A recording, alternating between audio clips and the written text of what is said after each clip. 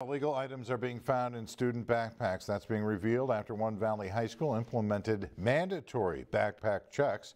News Channel 3's Jake Ingrassia has more tonight on what officials say they have found and why students say it's not keeping them safer.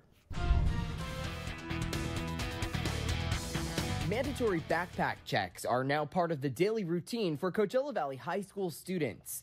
The district started the policy just last week in an effort to crack down on weapons and prohibited items on the campus after several recent reports forced lockdowns. Last Tuesday, a report of a knife turned out not to be true, but parents gathered as students were locked down for a couple hours. The backpack checks were rolled out the next day, and CVUSD board member Joey Acuna says the searches are already turning up illegal items. We're searching backpacks and we still found kids with drugs. And they knew that they were going to search their backpacks and they still got found people with drugs. I don't know what's going through the heads of some of our kids right now. I, I, I'm at a loss for that.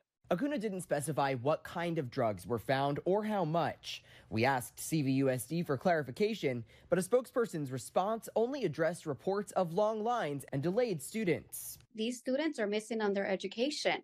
Is this going to continue for our students to be showing up to first period to second period? These are the periods that the students are missing. Superintendent Dr. Luis Valentino says the district will continue to improve. Maybe we need training by security office to, to do a better job of checking backpack. But know that the effort is there.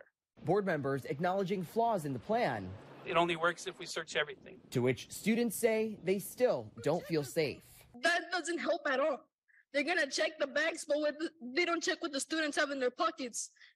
The student can literally have a gun in their pocket and no one will know because they don't check that. Parents call for metal detectors or school resource officers. Expenses district leaders say would cost hundreds of thousands of dollars per year. And some of the board members say I still do not support resource officers on the schools. those are measures they still won't get behind. Jake Ingrassia, News Channel 3,